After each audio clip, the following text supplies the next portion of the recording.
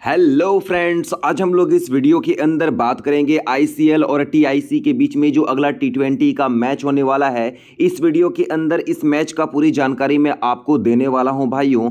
ICL और TIC के team ने अभी तक इस टूर्नामेंट के जितने भी मैचेस खेले हैं, सारे मैचेस को कवर करेंगे और आपको बताएँगे कि बैटिंग ऑर्डर क्या रहेगा दोस्तों, कौन से बॉलर यहाँ पे कितने ओवर बॉलिंग करते हुए दिखेंगे, कौन से बल्लेबाज किस ऑर्डर पर बल्लेबाजी करेंगे, सारे डिटेल्स मैं आपको इस वीडियो के अंदर प्रोवाइड करने वाला हूँ। एक बार इस वीडियो को दोस्तों शुरू से लेकर अंत तक ज़रूर वॉच करना ताकि पूरी इन्फॉर्मेशन आपको मिल पाए। दोस्तों, इस वीडियो के अंदर वीडियो को लाइक से स्टार्ट करना बहुत ज़्यादा मोटिवेशन मिलता है।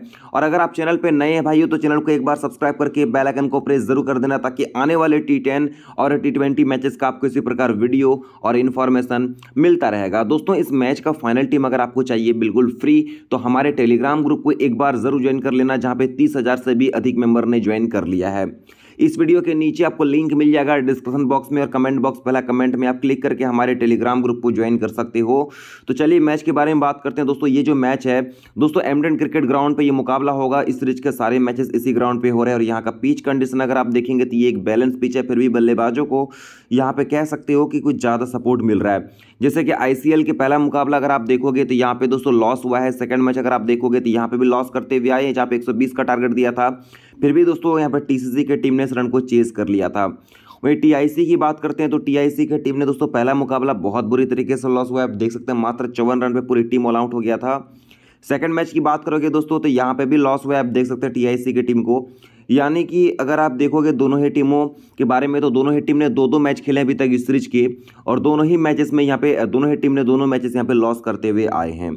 बैटिंग ऑर्डर की बात करते हो तो प्रवीज मुशरफ जो कि टीम के आपको यहाँ पे दोस्तों ओपन करते हुए दिखेंगे। दोनों मैच में ओपन करा है। पहले मैच में एक रन बना के एक विकेट, दूसरे मैच में थर्टी नाइन रन बना के एक विकेट निकाले हैं पूरे टूर्नामेंट में अगर आप देखोगे। तो दोस्तों यहाँ पे चालीस रन बना के दो विकेट निकाल चुके हैं। बहुत अच्छा पिक रहेगा, ज़रूर पिक करना। प्रदीप सरकार की बात करेंगे तो ये भी ओपनर बल्लेबाज है। पूरी सीरीज़ में सोलह रन बना के दो विकेट निकाले। इनको भी ट्राई करना। शमिक दास पहले मैच फ्लॉप दूसरे मैच में एक रन बना के एक विकेट फ़र्स्ट रन का बल्लेबाज है। ये भी एक अच्छे बल्लेबाज है दोस्तों, ले सकते हो। वहीं रहन की बात करते दोस्तों, ये पहले मैच फ्लॉप दूसरे मैच फ्लॉप रहा है। इनको ड्रॉप करो। थोड़ा लेट बैटिंग करते हैं। बाकी सुभजीत पॉल, जो कि पहले मैच में सेकेंड राउंड पर बल्लेबाजी करते हुए आठ रन बना के एक विकेट दूसरे मैच में इक्कीस रन बनाए दोस्तों, पूरे सीरीज़ में इसी प्रकार अगर आप देखेंगे तो उनतीस रन बना के एक विकेट निकाल चुके हैं। ये प्लेयर शानदार है जो सेकेंड राउंड पर बल्लेबाजी के साथ साथ यहाँ पे गेंदबाजी भी करते हुए देखेंगे। बाकी इन दोनों को ड्रॉप करेंगे। अमर खलिदा को भी ड्रॉप करेंगे, इनका भी रिकॉर्ड उतना कुछ खास नहीं है। यहाँ परिषद बैनिक की बात करेंगे दोस्तों, पहले मैच फ्लॉप दूसरे मैच में एक विकेट निकाले हैं। बाकी शेखर बर्मान, पहले मैच फ्लॉप दूसरे मैच में एक विकेट चटका ये भी एक बहुत बढ़िया खिलाड़ी, इनको भी ज़रूर ट्राई करना। बाकी इन तीनों को ड्रॉप करेंगे, तीनों का रिकॉर्ड उतना कुछ खास नहीं है। तो ये आईसीएल का रिकॉर्ड है, जो आप देख रहे हैं ना, ये ऑलमोस्ट सेम बैटिंग ऑर्डर आपको इस मैच के अंदर भी देखने को मिलेगा आईसीएल का। दोस्तों, इसमें से जो भी आपको इंपॉर्टेंट लग रहा है, अपने टीम में आप ले सकते हो। बाकी टीआईसी की बात करते हैं तो टीआईसी के टीम की तरफ़ से जो आपको ओपन करते हुए देखेंगे, प्रवीण बोरहा जो कि टीम के विकेट कीपिंग में ओपन करते हैं। पहले मैच में ज़ीरो रन दूसरे मैच में तीन रन स्कोर करा है मतलब बल्लेबाजी इनका उतना मज़बूत अभी नहीं देखने को मिला है। गणेश शर्मा की बात करते हैं दोस्तों, पहले मैच में अगर आप देखेंगे तो ये भी ओपन करते हुए देखो, पंद्रह रन फिर यहाँ पे ज़ीरो रन पे आउट रहा था। दोनों के दोनों ओपनर बल्लेबाज है, लेकिन अभी तक देखोगे कोई बड़ा स्कोर नहीं कर पाए हैं। बात करते हैं अनंता बोरा के बारे में। दोस्तों, ये जो प्लेयर है फोर्थ राउंड पे खेलते हुए पहले मैच में दो रन, कोई विकेट नहीं मिला, फिर यहाँ पे बत्तीस रन बना के एक विकेट इसी प्रकार पूरे टूर्नामेंट में देखेंगे तो चौंतीस रन बना के एक विकेट निकाल चुके हैं।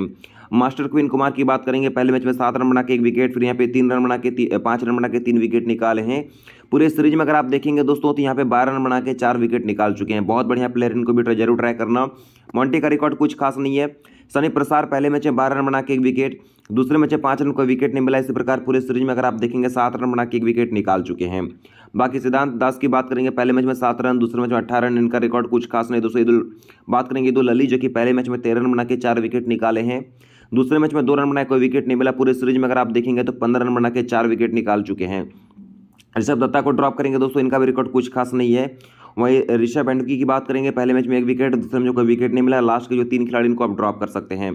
तो ये जो आप देख रहे हैं दोस्तों आईसीएल और टीआईसी का record almost same batting order आपको इस मैच के अंदर भी देखने को मिलने वाला है भाई इसमें से आपको जो भी इंपॉर्टेंट लग रहा है अपने टीम में ट्राई कर सकते हो, अपने टीम को बेहतर से बेहतर रिज़ल्ट दिला सकते हो।